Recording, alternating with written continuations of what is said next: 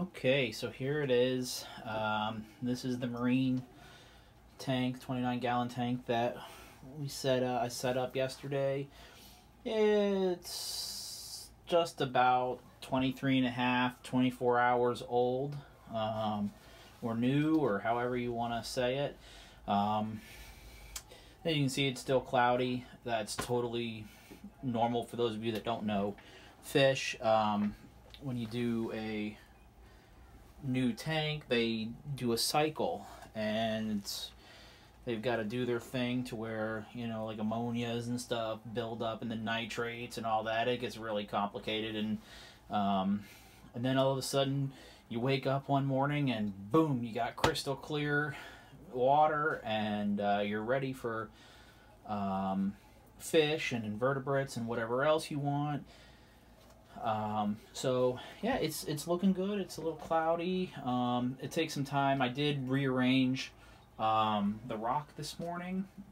I didn't like the way I had it, so I switched it up, and I still may switch it up. I think this piece right here, I'm going to. I, I don't know. I don't like it, so I may replace it with a piece of live rock. This is dry rock, so this did not come with any of the um, beneficial bacteria that the tank needs and the, the fish need and the invertebrates need um, for survival. Uh, so, yeah. Anyway, it's doing good. Uh, got uh, my salinity is a tad high. It was between 1.023 and 1.024, which is again it's perfectly acceptable. Um, I guess everything that I've been told you want to be around 1.022, but as long as you're there, there, it's like anything. You have a range that you can be in, and as long as you're within that range, you're gonna do just fine. Um, so, and like I said, it, it'll, it'll change a little bit as I know, you know, salt tanks are completely different from marine tanks, so it will change over time. Um, but the power head is working. We have good flow. Filter's doing its thing. The heater's doing its thing. I actually adjusted. The heater was just a, it came from the from the factory. It came uh, preset at 79 degrees.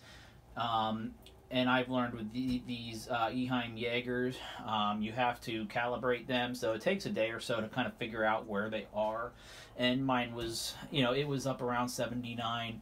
So I calibrated it and then um, dropped it down to 75 for now. Um, I will, you know, once everything stabilizes and we get ready for fish, I'll I might turn it up to like 66, 67. I know I keep our fresh water at 77 degrees um, because these Eheim Jaegers they have a, about a four degree uh, high and low. So like they'll go if I have it set at 77, it'll go down to like 75, and then at 75 and a half, it'll kick up. You know the, the heater will turn on, and then it might heat it to 78 and a half, 79, and then drop down. So there's a little bit of a variance there.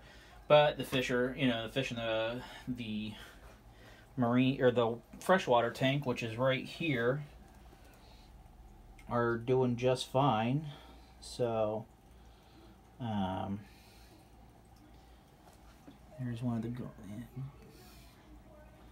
It's a nice, healthy tank. We've had that one since May, um, and it gave me a little bit of a fit for a little bit, and it took some time to get it all straightened out. But she's she's doing real good. My levels are great. The fish are healthy, so nothing really to complain about there. So it's time to, you know, we're going to focus on that, which is good that the other one's doing so great because I don't have to worry about it. I feed the fish um, every other day or so, or three days a week, whatever it is. I, I forget what I feed them, I, but they know when I feed them. Um, so, but yeah, so we've got uh, some good. Now, I don't have this um, wave maker set on the highest setting either and I'm kind of just playing around where with trying to find the best circulation of water versus the best surface agitation and where I can get it. I think that I've got it done pretty good because I got good surface agitation, but not so much that it's going to come flying up out of the tank. But then I don't know if we can see it. Um, it might be hard to see, but some of the you can see every once in a while you can see the sand um,